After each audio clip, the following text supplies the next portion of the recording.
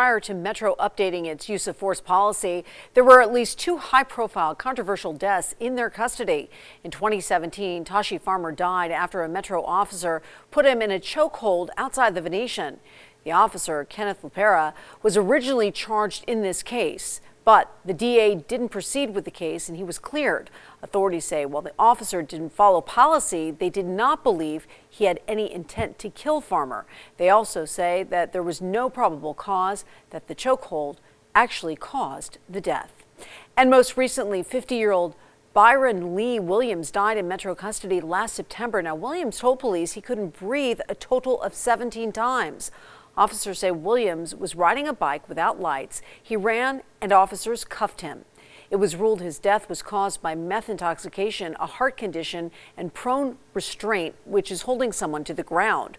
Reports from Metro's Force Investigation Team and Office of Internal Oversight are still pending in this case. The DA says criminal prosecution in the case was not appropriate.